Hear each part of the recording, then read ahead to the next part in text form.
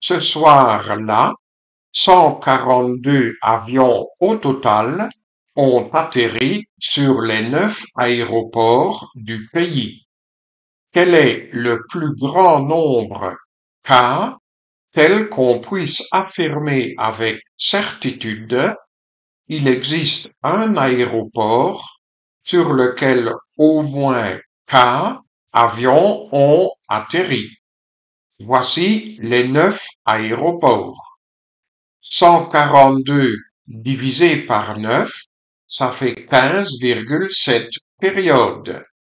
Et 15 fois 9, ça fait 135. Ces 135 avions, nous pouvons les répartir de façon équilibrée sur ces neuf aéroports. Ensuite, 135 plus 7 est égal à 142.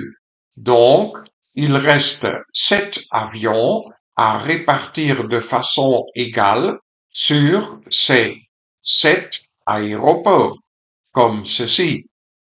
Par conséquent, il y a des aéroports sur lesquels 16 avions ont atterri.